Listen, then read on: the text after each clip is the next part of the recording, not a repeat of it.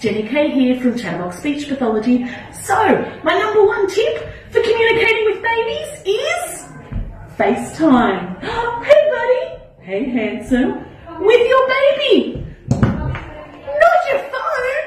Look, look at their face at eye level. Hey Finn. And they look back.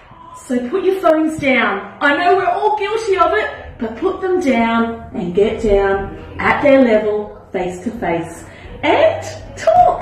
Let's put it on. Oh, good.